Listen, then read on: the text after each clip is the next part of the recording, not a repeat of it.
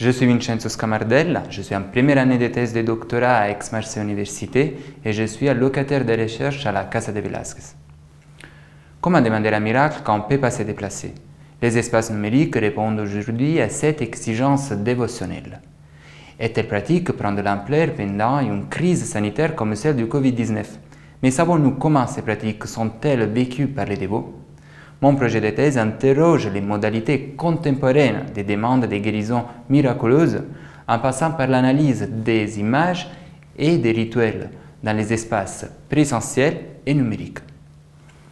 Ce projet s'inscrit dans les champs de l'anthropologie religieuse, des images et des lieux de culte.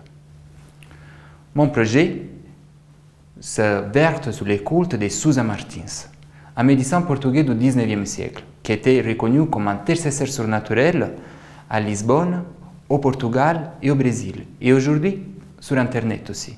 Les cultes débutent au XXe siècle, au pied de la statue de Sousa Martins, construite à Lisbonne pour commémorer sa mémoire.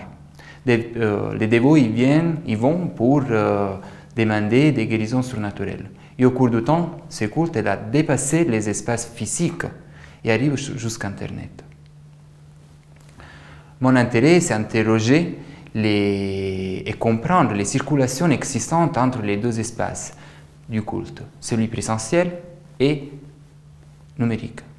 De plus, j'aimerais bien me concentrer sur euh, la créativité visuelle des dévots, qui trouve une nouvelle territorialisation, et c'est dans le monde digital. Et cela permet aussi un partage encore majeur du culte de Susan Martins entre des nouveaux contextes religieux et nationaux. Ma méthodologie s'appuie sur la web ethnographie pour Internet et une enquête de terrain à Lisbonne. J'envisage de combiner les deux pour comprendre en même temps ce qui se passe autour de la statue de Susan Martins et dans le monde digital. Justement, depuis longtemps, les espaces euh, rituels ont été étudiés, mais d'une façon séparée. D'un côté, les, les présentiels, de l'autre, les numériques.